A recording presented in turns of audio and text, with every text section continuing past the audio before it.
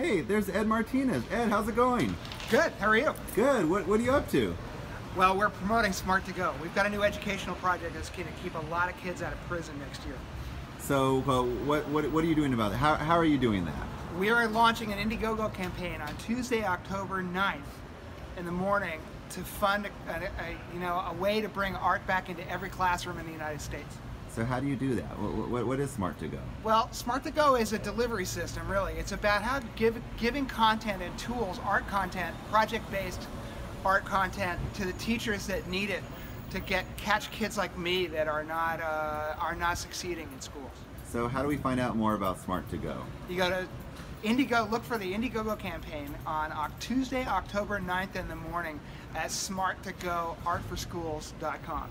And that's on Indiegogo.com. So you can also hit the Facebook page at smarttogousa.com.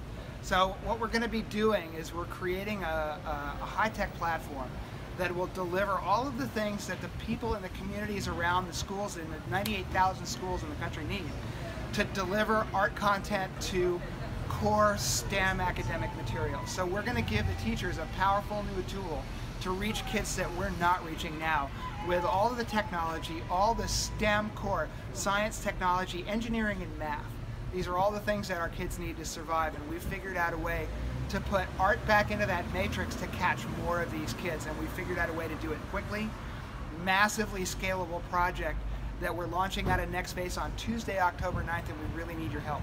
Okay, you guys got it. October 9th, Tuesday, Smart to Go.